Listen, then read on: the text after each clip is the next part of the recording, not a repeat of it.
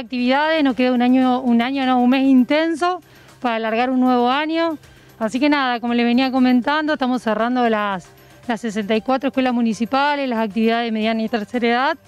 Y, bueno, todavía no hay fecha, los primeros días de diciembre van a estar las inscripciones para las colonias de vacaciones, pero bueno, en eso, trabajando en eso, poniendo el predio a punto y los predios municipales. Y bueno, ¿y cuáles van a ser los predios que van a tener sus puertas abiertas para que las niñas y niños vayan a disfrutar de las colonias? Los cuatro predios municipales, La Toma, Gazano, El Alfonsín y el Predio del Sol.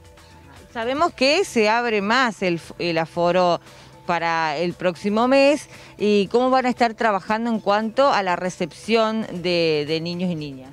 Bien, va a haber eh, colonias turno mañana y turno tarde. Principalmente sabemos que se van a extender las clases hasta el 17 de diciembre.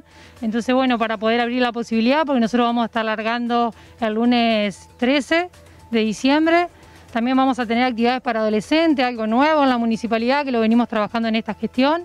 Así que bueno, contento por todo eso y bueno, también las actividades de mediana y tercera edad. El predio va a estar abierto de lunes a viernes para actividades programadas y después ya sí, eh, los que los fines de semana va a estar abierto al público. Lo bueno es que, va a haber actividades para todas las edades, eso es importante que, el ciudadano lo sepa.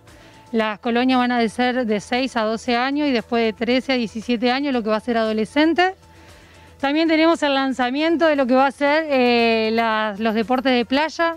Va a haber duatlón, atletismo, va a haber varias actividades a lo que va a ser eh, en el Thompson. Así que bueno, el SAP, el canotaje, muchas cosas nuevas por suerte. Qué bueno, qué innovador, ¿no? Tan importante es la parte deportiva en los chicos, en los jóvenes que no tienen esa posibilidad de acceso. ¿Cómo hacen para inscribir esa familia a los chicos?